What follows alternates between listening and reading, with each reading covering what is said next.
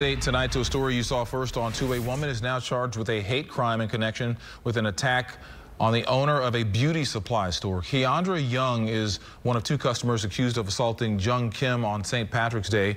KPRC2's Andy Sirota just spoke with the store's owner's son about this new development in the case. The owner's son says he and his family have received a lot of support from customers and the community since the attack on his mother.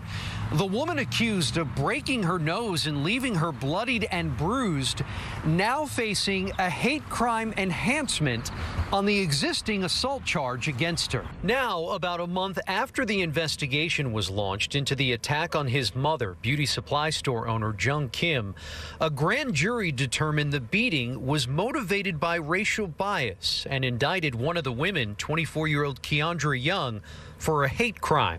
Sung Jun Lee, the owner's son, had this to say about the new development. I just want the justice. Get a punishment what they did, like not over, not less, just like exact amount what they did.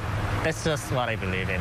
That's what I want. Surveillance video from March 17th shows beauty supply store owner Jung Kim being punched in the face repeatedly by a customer who she says was hurling racial insults at her. Asian. Like, you little Asian oh. girl.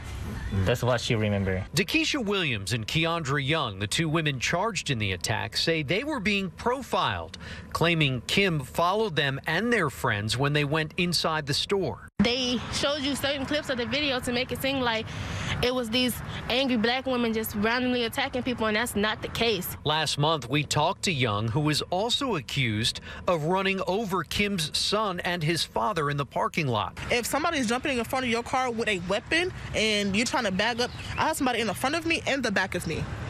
I had no I have no choice but to go forward. Lee, who denies all the women's claims, says his mom is doing better and they just want to put this all behind them.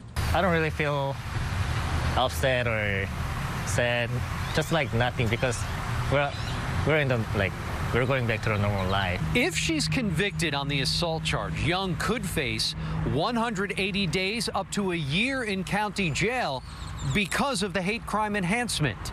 In North Houston, Andy Sirota, KPRC 2 News.